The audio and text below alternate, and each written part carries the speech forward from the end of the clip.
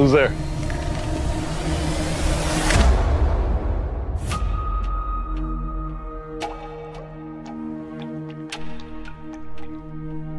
Okay. You need breakfast. I'm fine. I wasn't asking.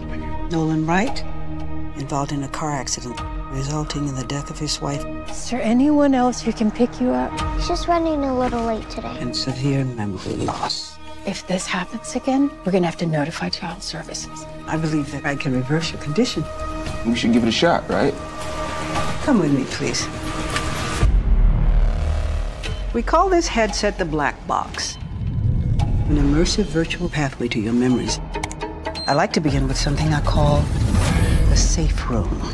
When you push the crown of the watch, you will be in your subconscious. Are you ready?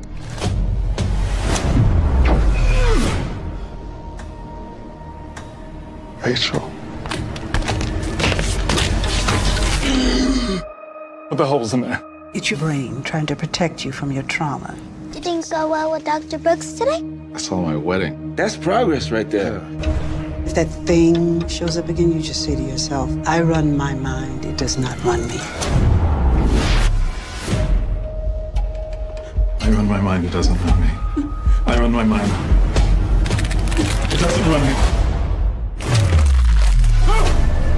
Patients are often surprised by what they remember. Did Rachel and I live in an apartment? I don't think so. The place was really familiar. You're getting close. Stay with this. Did we ever fight? It's not what you think. You would never hurt Rachel.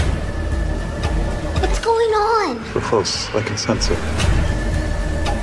You just need to remember who you are. I run my mind. It doesn't run me.